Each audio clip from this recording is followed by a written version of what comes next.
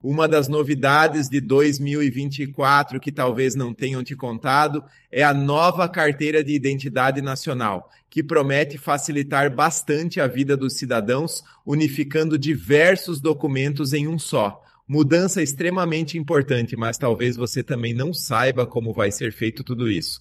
Então pode ficar tranquilo que hoje eu vou te informar tudo sobre isso. O objetivo da mudança é unificar o número do documento em todas as unidades da federação. O novo RG vai ter o número do CPF como registro geral único e válido para todo o país. Na carteira de identidade nacional, além disso, não deve conter mais o campo sexo, nem a distinção entre os campos nome e nome social. O novo RG também pode incluir dados de outros documentos, como carteira de vacinação, CNH, título de eleitor ou reservista militar. Para isso, basta levar os documentos pessoais no dia da emissão. O motivo da unificação entre o novo RG e o CPF é utilizar apenas o CPF como identificador da carteira de identidade nacional, já que antes era possível que cada pessoa tivesse um número de RG diferente para cada estado onde ela emitisse o documento. O número de CPF será válido em todo o país, o que diminui a probabilidade de fraudes. A nova carteira de identidade está disponível nas versões física e digital e apresenta um QR Code para verificar a autenticidade do documento, mesmo que a pessoa esteja sem internet. Ela também conta com um código de padrão internacional, o que permite que seja usada como documento de viagem. Para tirar o novo RG, basta ir ao órgão emissor da sua cidade e apresentar a certidão de nascimento ou casamento. As secretarias de segurança pública do Distrito Federal e de cada estado serão as responsáveis por disponibilizar o documento. O novo RG é gratuito. A troca do documento antigo pela nova carteira de identidade, bem como a emissão da primeira via desse documento, será gratuita. Você deve estar se perguntando se é possível fazer pela internet. Não tem como fazer o novo RG pela internet, apenas o agendamento para a emissão do documento pode ser realizado online em alguns estados, mas o documento é feito de maneira presencial. Somente após emitir o novo RG físico você pode solicitar o RG digital através do app.gov.br.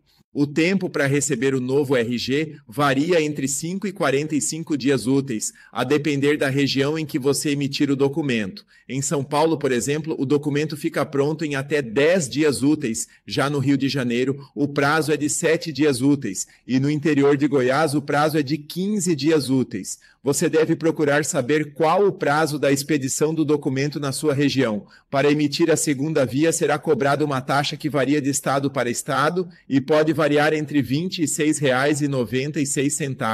Porém, em alguns casos, é possível tirar a segunda via do RG de graça.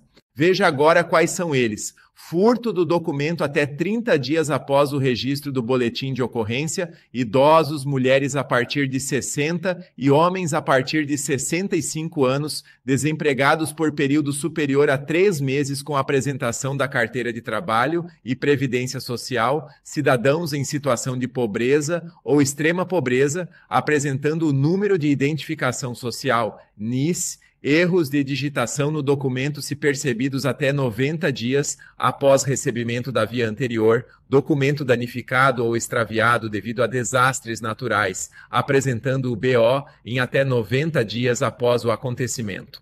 A nova carteira de identidade nacional é bastante segura, pois utiliza a tecnologia blockchain para sincronizar dados com a Receita Federal. É a mesma segurança aplicada ao Bitcoin e a outras criptomoedas, o que torna praticamente impossível adulterar as informações. Já o QR Code garante a autenticidade do documento, pois permite que qualquer pessoa confira a veracidade dos dados registrados pelo governo. Os cidadãos têm até 2032 para fazer a troca do antigo RG pelo novo documento. Esse prazo é para que todo brasileiro tenha tempo de trocar o seu documento sem pressa.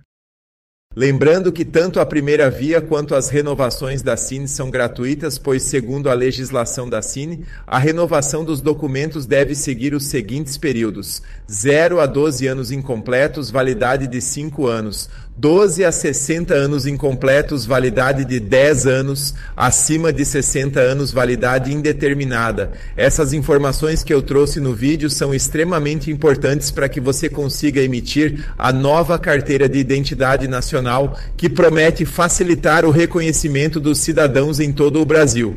Por isso é importante compartilhar com mais pessoas para que todos saibam disso. Se tiver ficado com dúvidas, deixe nos comentários. Nós da João Financeira estamos sempre trazendo informações novas para você que é idoso, aposentado ou pensionista. Por isso, se inscreva no canal e ative o sininho de notificações. Um abraço, estamos juntos de coração.